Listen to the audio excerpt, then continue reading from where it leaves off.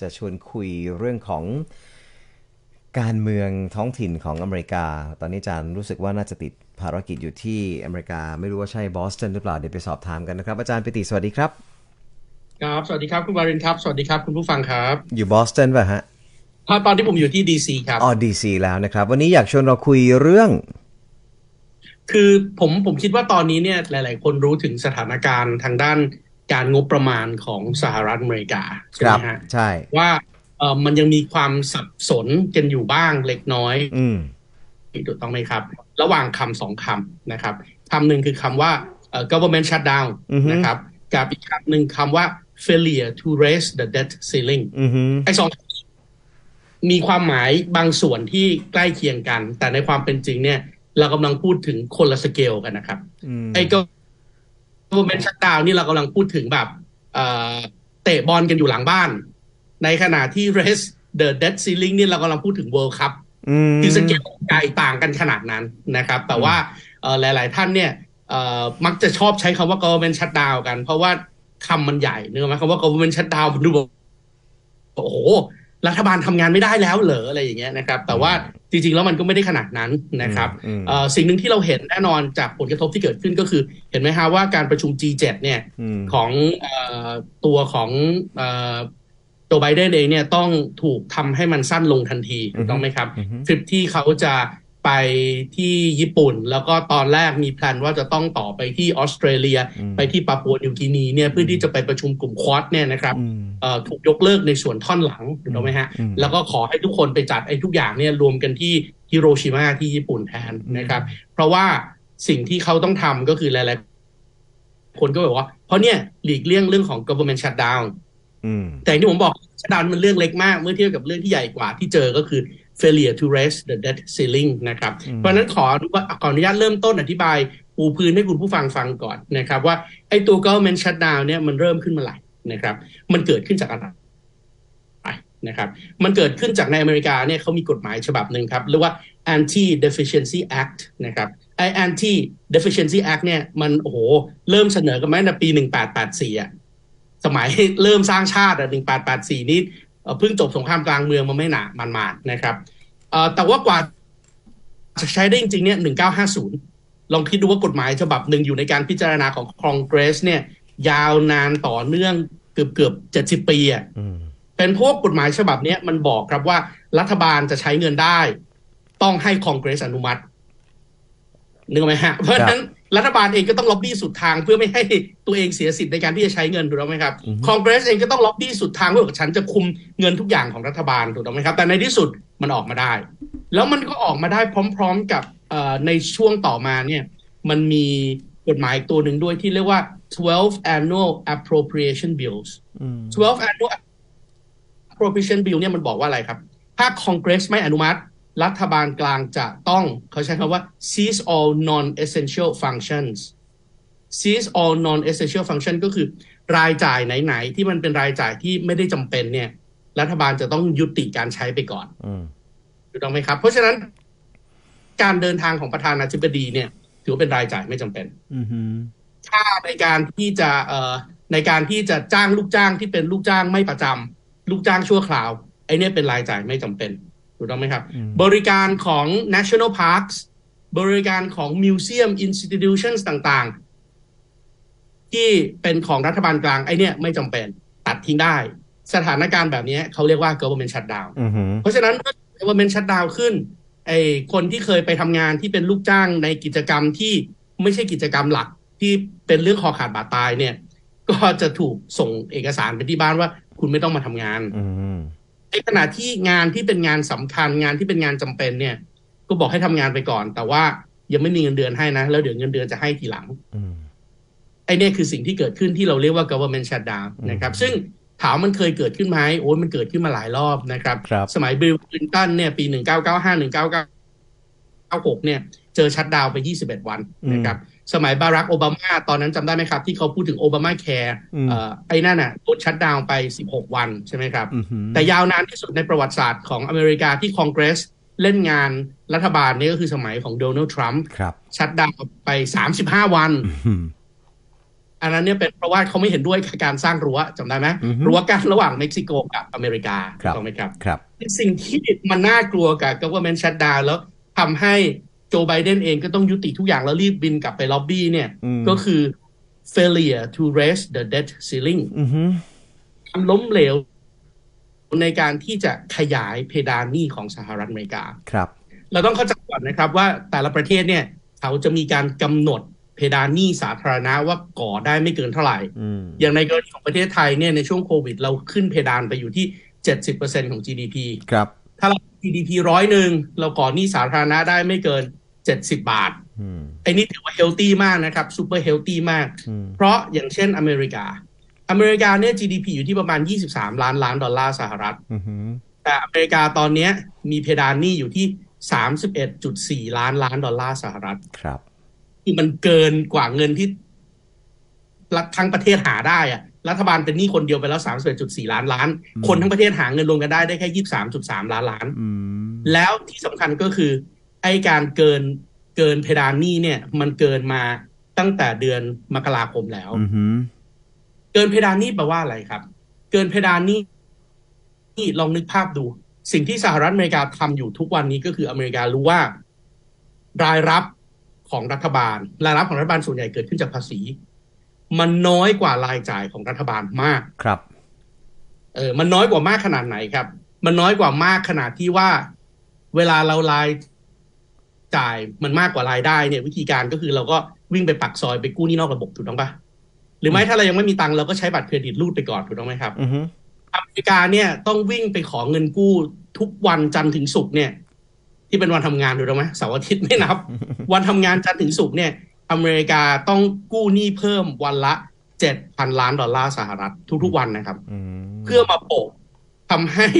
รัฐบาลสามารถที่จะจ่ายเงินได้อือฮึ เพราะฉะนั้นตรงนี้สิ่งที่มันเกิดขึ้นก็คือเราเห็นแล้วแหละว่า เมื่อกี้เราย้อนกลับไปที่บอกว่ารัฐบาลจะจ่ายเงินอะไรก็ตามคอนเกรสต้องเป็นคนอนุมัติเนี่ยครับคองอนุมัติให้รัฐบาลจ่ายเงินได้เกินกว่าที่รัฐบาลหาได้มาโดยตลอดอืมก็คือคอนเกรสอนุมัติบัตรเครดิตไปให้รัฐบาลสหรัฐอือฮึแล้วรัฐบาลสหรัฐก็มีบัตรเครดิตอยู่สองใบ เอาบัตรเครดิตใบหนึ่งรูดซื้อของ แล้วก็เอาบัตรพอถึงเวลาจ่ายเงิน ก็เอาบัตรเครดิตอีกใบหนึ่งไปรูดซื้อเงินสดแบะรูดเงินสดออกมาจ่ายหนี่บัตรเครดิตใบแรกอืม แล้วพอหนี่บัตรเครดิตทั้งสองใบเต็ม สิ่งที่สหรัฐทำก็คือขอบัตรเครดิตใบที่สามครับเพื่อที่จะพูดเอาเงินสดมาจ่ายบัตรเครดิตสองใบแรกอืมแล้วก็พอกพูนแบบนี้ไปเรื่อยๆเรื่อยๆเรื่อยๆยาวนานต่อเนื่องมา ก็ตั้งแต่พันเก้าร้อยห้าสิบอะครับอืมจะจนทักทุกวันนี้เนี่ย ทุกคนไม่รู้กันแล้วว่า เฮ้ย แล้วถ้าเกิดว่าสมมติวันหนึ่ง มันไม่สามารถที่จะบริหารจัดการได้อืมแล้วคอนเกรสไม่อนุมัติให้ขยายเพดานหนี้ต่อไป หรือว่าไม่ให้บัตรเครดิตใบใหม่เนี่ยอืมมันจะไปยังไงกันต่อ เพราะอย่างที่ผมบอกว่าสเกลนี้มันจะไม่ใช่แค่เฉพาะ หยุดการให้บริการห้องน้ำและศูนย์บริการนักท่องเที่ยวใน national parks เท่านั้นแล้วนะครับ แต่ที่เรากำลังพูดถึงความสามารถของรัฐบาลสหรัฐในการจ่ายบัตรหนี้บัตรเครดิตถูกต้องไหมครับ อื มหนี้บัตรเครดิตของรัฐบาลสหรัฐเขาเรียกว่าตั๋วเงินคลัง หรือไม่ก็พันธบัตรรัฐบาลอืมอ่า ความขอโทษนะครับ เรือหายเริ่มมาแล้วถูกต้องไหมครับอือฮึถ้าเกิดรัฐบาลไม่สามารถจ่ายดอกเบี้ย จ่ายเงินต้นให้กับพันธบัตรให้กับตั๋วเงินคลังได้แบงก์ในอเมริกาจะเกิดอะไรขึ้นครับ ก็แน่นอนเราเราเราเห็นไปแล้วจากไอ้ Silicon Valley Bank หรือครั First บ Security Bank ล้มละลายนะครับ เพราะว่าอืมทุกแบงก์ถือพันธบัตรไว้หมด แล้วคนอเมริกันที่ออมเงินกับธนาคารก็เชื่อว่าก็ไม่เป็นไรก็เดี๋ยวธนาคารพวกนั้นก็ถือพันธบัตรไปจนถึงกำหนดไถ่ถอนแล้วรัฐบาลอเมริกาก็ส่งเงินมาให้ ก็เอาเงินพวกนี้มาคืนเงินฝากให้เป็นให้รัฐให้ประชาชนถอนได้อืมแต่ถ้าเกิดรัฐบาลเริ่มต้นไม่สามารถจ่ายได้ โอ้ภายในประเทศ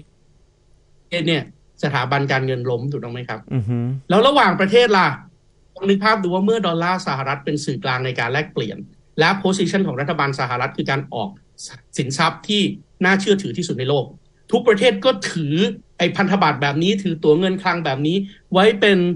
สินทรัพย์ที่จะ back up ค่าเงินของตัวเองเต็มไปหมดเลยถูกต้องไหมฮะอืมเออเพราะฉะนั้นสิ่งที่จะเกิดขึ้นคืออะไรครับ ลองนึกภาพดูว่าประเทศไทย ประเทศญี่ปุ่น ประเทศจีน ประเทศรัสเซีย ประเทศในยุโรป ทุกประเทศทั่วโลก ถือพันธบัตรไว้แล้วหวังว่ารัฐบาลสหรัฐจะใช้เงินคืนเงินต้น และดอกเบี้ยแต่รัฐบาลไม่สามารถทำได้ ระบบอัตราแลกเปลี่ยนทั่วโลกก็จะพังไปกว่านั้นถูกต้องไหมคครัรับบครับแน่นอนที่สุดมันก็จะสะท้อนกลับมาถึง credibility หรือความเชื่อมั่นต่อรัฐบาลสหรัฐอืมแล้วพอพูดถึงความเชื่อมั่นต่อรัฐบาลสหรัฐ มันก็จะขยายลุกลามไปถึงความเชื่อมั่นต่อประเทศสหรัฐด้วยอืมฮึเพราะฉะนั้นจึงไม่ใช่เรื่องแปลกที่ นี่แหละฮะภัยคุกคามของจริงที่ ไม่ใช่ควอดไม่ใช่จีน ไม่ใช่อะไรที่ต้องไปประชุม แต่ว่าต้องบินกลับประเทศโดยด่วนเพื่อที่จะไปล็อบบี้เรื่องนี้ เพราะว่าอืมตอนเนี้ยมันยังมีเงินส่วนที่ยังสามารถที่จะประคับประคองสถานการณ์ไปได้ครับแต่คาดเป็นว่าเงินที่จะสามารถประคับประคองไปถึงได้เนี่ย จะจบลงในเอ่อช่วงเดือนมิถุนายนนี้แต่เพราะฉะนั้นถ้าไม่สามารถที่จะอืมล็อบบี้ได้จนถึงช่วงเดือนเอ่อพฤษภาคมเออพฤษภามิถุนายนนี้ที่ ให้คอนเกรสอนุมัติให้ขยายเพดานหนี้หรือว่าอนุญาตให้ออกบัตรเครดิตมาทำอย่างนี้เพิ่มไอ้ transfer balance ต่อได้เนี่ยเอ่อระบบระบบการเงินโลกแล้วก็ระบบของสหรัฐก็จะอืมปั่นป่วนอย่างที่ไม่เคยมีมาก่อนครับ คิดว่าอเมริกาคงไม่ให้ไปถึงวันนั้นนะครับ เพราะว่ามันจะกระทบต่อความเชื่อถือในสกุลเงินดอลลาร์ แล้วมันเป็นเรื่องของศักดิ์ศรีด้วยนะฮะบนเวทีโลก เพราะว่าจีนเองก็ ผงาดขึ้นมาแล้วสหรัฐก็พยายามจะสกัดดาวรุ่งตรงนี้ตลอดเวลาอยู่แล้วนะครับ เพราะฉะนั้นอะไรคือสิ่งที่ไบเดนจะนำไปใช้ในการล็อบบี้หรือต่อรองครับ เพราะว่าจะมีเลือกตั้งในปีหน้าอยู่แล้วที่อเมริกา แล้วริพับลิกันเนี่ยจะยอมด้วยเงื่อนไขอะไรครับ ในการที่จะให้ขยายเพดานหนี้ตรงนี้ ก็เอาระบบเศรษฐกิจของสหรัฐอเมริกา และระบบเศรษฐกิจของโลกเป็นตัวประกันครับ อืมว่าครับถ้าคุณไม่ทำก็ ทุกอย่างก็ขอโทษเรือหายกันหมดอืม ครับถูกไหมฮะนั่นนั่นคือนั่นคือนั่นคือปัญหาที่มันใหญ่กว่าอืมปัญหาที่ใหญ่กว่าคืออะไรครับ ปัญหาที่ใหญ่กว่าก็คืออะอย่างนั้นหยวนหยวนๆวะคอนเกรสก็ยอมขยายเพดานหนี้อืมปล่อยให้รัฐบาลสหรัฐก่อนหนี้ต่อไปอืมแต่คำถามก็คือ แล้วหนี้ที่ใหญ่ขึ้นจากตอนนี้สามสิบจุดสี่ล้านล้าน สมมติกลายเป็นสามสิบห้าล้านล้านมอีกหกเจ็ดปีกลายเป็นสี่สิบล้านล้านอืมแล้วในที่สุดมันจะไปจบได้ที่ไหนนั่นน่ะสิครับ แล้วถ้าเกิดมัน ที่แน่นอนในอดีต มันมันไม่จบมันไม่เป็นไรไง เพราะเงินมันต่อเงินไปเรื่อยอืมๆตราบเมื่อตามที่ดอลลาร์สหรัฐเป็นเป็นของที่ทุกคนอยากได้ มันมีอืมดีมานในโลกถูกต้องไหมครับอืมฮึและในอดีตมันมีดีมานในโลกเนี่ยก็เป็นเพราะว่าทุกคนค้าขายกับสหรัฐอืมฮึทุกคนลงทุนกับสหรัฐอืมถูกต้องไหมครับอืมฮึเพราะฉะนั้นคนในสหรัฐสิ่งที่เราเห็นคืออะไรครับ สิ่งที่เราเห็นก็คือคนในสหรัฐบริโภคเกินตัวอืมและจ่ายภาษีน้อยกว่าความเป็นจริงอืม นั่นไม่ใช่เรื่องแปลกที่ทุกคนก็อยากมาอยู่ในสหรัฐถูกต้องไหมอืมเพราะคุณเสียภาษีน้อยกว่าที่คุณได้รับจากรัฐบาลอืมและคุณยังและคุณยังคุณยังคุณยังสามารถที่จะก่อหนี้มาใช้ได้ตลอดเวลาถูกต้องไหมครับอืมแต่ปัญหาก็คือณวันนี้เนี่ย มันไม่ได้มีแต่สหรัฐคนเดียวไงที่เป็นมหาอำนาจแบบนั้นแล้วอืมนึกออกไหมฮะว่ามันเริ่มมีเฮ้ยร้อยสามสิบห้าประเทศทั่วโลกนะที่มีจีนเป็นคู่ค้าอันดับหนึ่งอันดับสองครับ เพราะฉะนั้น ถึงบอกว่าเวลาที่สหรัฐโจมตีจีนเนี่ยอืมสหรัฐจีนที่หัวใจของจีนนั่นก็คือเรื่องของภาคการผลิตสินค้าแท้จริงอืมพยายามจะทำให้จีนต้องถูกดีคัพปลิ้งออกจากระบบ ห้ามซื้อขายชิปคอมพิวเตอร์ห้ามซื้อขายคนห้ามซื้อขายอะไรต่อมีอะไรถูกต้องไหมครับอืมฮึแต่ว่าเวลาจีนจะตอบโต้สหรัฐอะมันตอบโต้ด้วยวิธีการแบบเดียวกันไม่ได้อืมเพราะว่าในสหรัฐเองมันไม่มีภาคการผลิตอืมจีนไปตอบโต้ที่หัวใจของสหรัฐก็คือ ภาคการเงินอืมดังนั้นตราบใดก็ตามที่กระแส de-dollarization หรือกระแสที่คนเริ่มตั้งคำถามว่า เฮ้ยทำไมประเทศไทยค้าขายกับสมมติอินเดียอืมไทยต้องเอาเงินบาทไปแลกเงินดอลลาร์อืมแล้วเงินดอลลาร์ไปจ่ายให้พ่อค้าอินเดียอืมแล้วพ่อค้าอินเดียรับเงินดอลลาร์แล้วต้องเอาเงินดอลลาร์ไปแลกเป็นรูปีอีกทีหนึ่งอืมอืมและในขณะเดียวกันก็มีอีกกลุ่มหนึ่งที่ต้องแลกรูปีมาเป็นดอลลาร์เพื่อมาซื้อของที่ประเทศไทยอืมฮึแล้วคนไทยก็รับดอลลาร์แล้วก็มาแลกเป็นบาทเพื่อเอาตังค์เก็บเข้ากระเป๋าอืมทำไมอเมริทำไมไทยกับอินเดียไม่ค้าขายกันโดยตรงโดยใช้รูปีหรือบาทเลยล่ะอืมทำไมเพราะมูลล่ะครับค่ามันก็เพิ่มขึ้นมาเรื่อยๆ ถูกต้องไหมครับอืมทำไมแล้วลองคนึรักบถึงครับเป็นจีนอืมเป็นรัสเซียที่ค้าพลังงานอืมเป็นบราซิลที่ค้าสินค้าเกษตรรายใหญ่ของโลกอืมเขาก็เริ่มรู้สึกว่า เอ้ย เขาก็ใหญ่เกินไปแล้วนี่หว่า ที่จะอืมต้องมารับกับการที่จะต้องทุกอย่างต้องผ่านในหน้าเป็นดอลลาร์สหใช่รัฐเพราะฉะนั้นกระแสที่เขาบอกว่าการใช้เงินทุนที่ไอ้ยขอโทษการใช้เงินตราสกุลหลักของแต่ละประเทศ ในการซื้อขายระหว่างประเทศโดยตรงเนี่ยมันเลยกลายเป็นกระแสที่เพิ่มขึ้นในโลกมากขึ้นเรื่อยๆเรื่อยๆๆๆอย่างเช่นการประชุมสุดยอดผู้นำอาเซียนที่เพิ่งจบไปอืมวันที่ 9 11พฤษภาคมเนี่ยครับอืมหนึ่งในสิ่งที่เป็น leaders declarations ด้วยก็คือ การไปบอกให้ คณะทำงานของรัฐบาลกลาง และรัฐมนตรีคลังของประเทศอาเซียนเนี่ยอืมร่วมวางหลักการได้ไหมว่า ต่อไปนี้เวลาอาเซียนค้าขายกันอะใช้เงินสกุลของตัวเองได้ไหมอืมอืมเพราะลองนึกดูว่าเราค้าขายกันวันเนี้ย จากค้าขายเราหนึ่งร้อยเปอร์เซ็นเนี่ยหนึ่งในสี่มันค้าขายกันในอาเซียนนะฮะอือหือแล้วทำไมค้าขายกันในอาเซียนไม่ใช้เงินสกุลของอาเซียนกันเองอะอืมเพราะฉะนั้นลักษณะแบบเนี้ยครับ มันก็จะยิ่งทำให้ไอ้ ปัญหาที่เป็นวัวพันหลักของสหรัฐอเมริกาจากการใช้หนี้บัตรเครดิตมาต่อหนี้บัตรเครดิตแบบนี้ไปเรื่อยๆ เนี่ยอือหือมันเริ่มกลายเป็นปัญหาที่นักเศรษฐศาสตร์เริ่มแบบหาทางลงยังไงอะอืมแล้วมันใหญ่มากซะจนมันหาทางลงยากจริง ๆ แล้วครับ ครับ ซึ่งเรื่องนี้ได้รับการไฮไลท์ใน G7 ที่เพิ่งจบไปไหมครับ เพราะว่าผมดูเหมือนกับว่าในแง่ของข่าวที่ออกมาเนี่ยมันจะเบี่ยงประเด็นไปที่การไปเยือน G7 ของเซเลนสกี้แล้วพูดถึง จีนว่าอยากจะ diversify เอ่อ supply chain เรื่องละเอ่อเป็น de-risk ไม่ใช่เป็น decoupling นะ ไม่ต้องห่วงไม่ได้จะเลิกคบ เพียงแต่ว่าจะลดความเสี่ยงลงคือพุ่งเป้าไปที่ประเทศจีนเป็นตัวปัญหาหมดเลย โดยที่ไม่พูดถึงปัญหาการเงินของประเทศตัวเอง คือบางคนก็วิพากษ์วิจารณ์ว่าจริงๆ แล้ว G7 มันเป็นคลับของอดีตเศรษฐีมานั่งคุยกันอะครับสมัยก่อนเนี่ยเราบอกว่าโอ้โห G7 เนี่ยคือ เศรษฐกิจอุตสาหกรรมที่ใหญ่ที่สุดในโลไอ้กไอ้ตัวตัว G นี่มันย่อมาจาก Giant หรือ Great ฮะอาจารย์ Group Group เหรอฮะอ๋อ Group of Seven Group of Seven อ่าไม่แค่ใช่นั้นเองครับกลุ่มเจ็ดประเทศไอ้ตัว G7 G G อะไรพวกนี้ก็จริงๆคือคำว่า Group G G คือ Group ไม่ได้ไม่นะได้ฮะมีคำว่าไม่ใช่ Group ครับ Great ไม่ใช่ Giant ไม่ใช่แค่คำว่ากลุ่มครับ เพราะฉะนั้นเพราะฉะนั้นปัจจุบันนี้เนี่ย กลุ่มประเทศที่เป็น emerging seven อืม E7 อืมอย่างเช่น จีนอินเดียอืมรัสเซียคือคือกลุ่ม BRICS อะ BRICS นะครับอืมแล้วก็บวกไปด้วยเศรษฐกิจขนาดใหญ่เพิ่มเติมจาก BRICS อย่างเช่น อินโดนีเซียตุรกีพวกเนี้ยนะครับอืมขนาดเศรษฐกิจมันกำลังจะใหญ่กว่า G7 เกินอืมสองเท่าแล้วอะอืมอืมไอ้นั่นในกลุ่มคลับเศรษฐีใหม่เพราะฉะนั้นกลุ่มคลับเศรษฐีเก่าเวลามานั่งคุยกันก็คล้ายๆ talk shop อะอืมนึกความดีๆในออืมดีตอืมนึกออกไหมฮะเอออืมแล้วก็คุยกันว่า เราอยากจะเห็นอย่างนั้น เราอยากจะเห็นอย่างนี้นะ แล้วก็จบแยกย้ายแล้วก็เออฝันกันต่อไป เพราะว่าหลาย ๆ เรื่องที่คุยกันไว้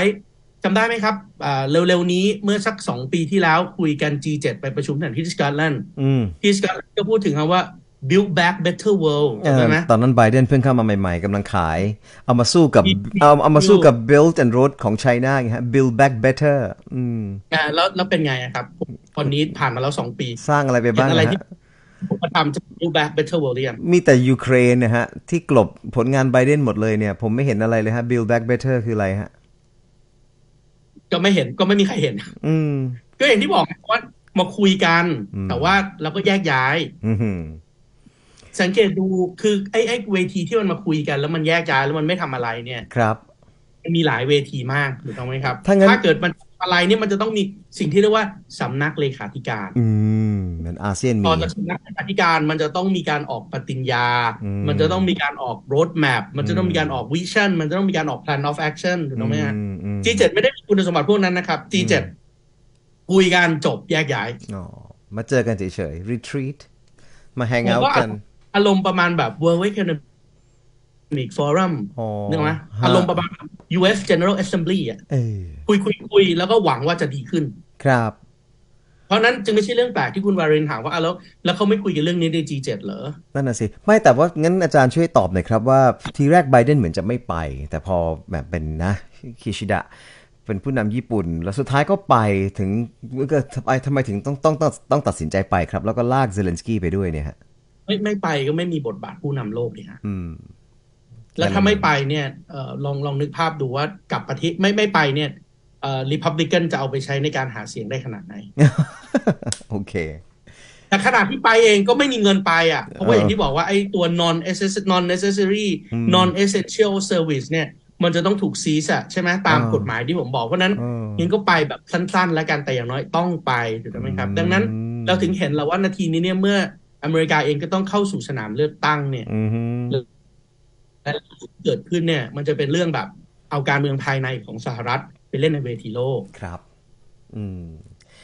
ได้เลยครับ ขอบพระคุณมากครับ สุดท้ายแล้วคิดว่าเขาจะเจรจากันสำเร็จไหมครับ เท่าที่ดูบรรยากาศนั่งอยู่ในดีซีเนี่ยตอนนี้ฮะอาจารย์ ก็โอ้แต่เมื่อวานนี้ก็ตื่นเต้นมากเลยนะครับ เพราะว่าเมื่อวานนี้คุณโจไบเดนเองก็เดินทางกลับใช่ไหมครับ จากญี่ปุ่นนะอ่าฮะเออผมเองก็ผมเองก็ผมเองก็เดินเดินเล่นอยู่แถวๆ National Mall เนี่ยเออมาเราก็จะมองเห็นแบบเอเครื่องบินที่มันเป็นเครื่องบินเฮลิคอปเตอร์ของทำเนียบขาวอะอ่าฮะบิน ผ่านตรงไอ้ที่มันเป็นเอ่อแท่งดินสอ Washington Monument อะเออใช่แท่งดิไอ้นสอแท่งดินสอใหญ่ๆนั่นนะเพื่อที่จะมุ่งหน้าไปทางด้าน White House ไวท์เฮาส์ถูกต้องไหมครับ แล้วก็โอ้โหไบเดนกลับมาแล้วอะไรอย่างเงี้ยเขาอยู่ในนั้นอะไรอย่างเงี้ยครับครับ Biden's back ลุงกลับมาแล้ว ขอบพระคุณมากครับอาจารย์ปิติ ก็ไม่สรุปคิดว่าน่าจะเจรจากันได้เนาะน่าจะก็น่าจะขยายเพดานหนี้ได้ใช่ไหมครับประวัติศาสตร์ที่ผ่านมาเนี่ยมันเจรจากันได้ แต่ว่า มันยิ่งเจรจากันได้ ก็ยิ่งเป็นการถล่มลึกถูกต้องไหมครับเหมือนตอนนี้คุณเป็นมะเร็งอะอืมแล้วสิ่งที่คุณทำก็คือคุณแค่ประคับประคอง แต่คุณไม่เคยคิดที่จะแก้ไขที่ตัวเซลล์มะเร็งจริง ๆ โดยการผ่าตัดใหญ่ ครับทำก็คือแล้วถ้ามันเป็นแบบนี้เรื่อยๆกัดกัดก่อนไปเรื่อยมันจบที่ไหนอะ อืมครับ ขอบพระคุณมากครับอาจารย์ครับครับ ขอบคุณครับคุณไร Safe ครับ Travel สวัสดีครับนะครับ เดินทางโดยสวัสดิภาพ วันนี้หมดเวลาของช่วงเวลา